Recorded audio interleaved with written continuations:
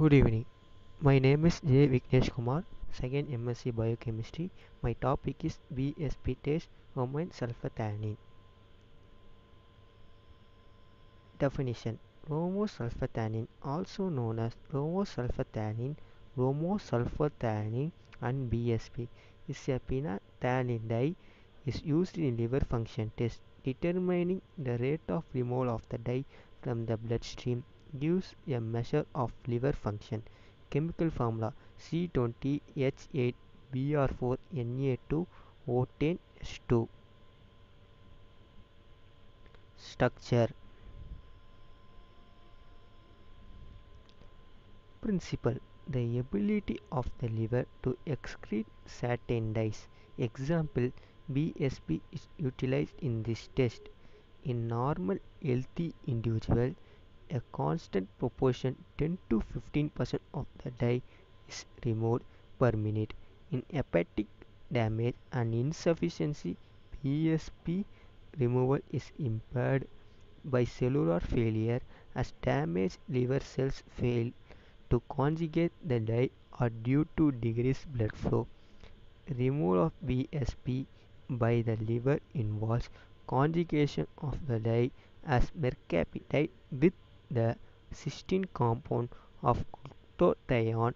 The reaction of conjugation of BSP with glutathione is rate limiting as thus it exerts as controlling influences on the rate of removal of the dye. Procedure with the patient fasting inject intravenously slowly an amount of 5% BSP solution which contains 5 mg of BSP per kilogram body weight. Withdraw 5 to 10 ml of body 25 and 45 minutes after the injection and allow the specimen to clot. Separate the sera and estimate the amount of dye in each sample.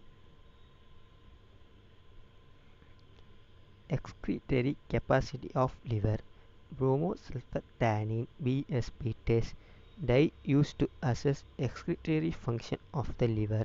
Non-toxic compound exclusively excreted through bile. Dose 5 mg by kilogram body weight. Administration intravenously. Procedure serum concentration is measured at 45 minutes and at 2 hours. Results greater 5% of dye retained. Abnormality in excretory capacity of liver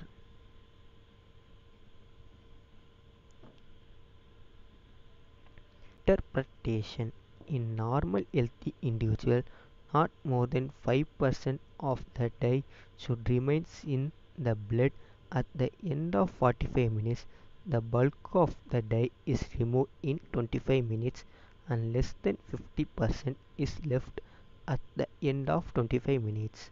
In this liver disease slowly. In advanced cirrhosis, removal is very slow and 40 to 50% of the dye is retained in 45 minute sample. Since the dye is removed in bile after conjugation, this test can only be used in case in which there is no obstruction to the flow of bile. Hence the test is of no value if obstruction obstructive jaundice.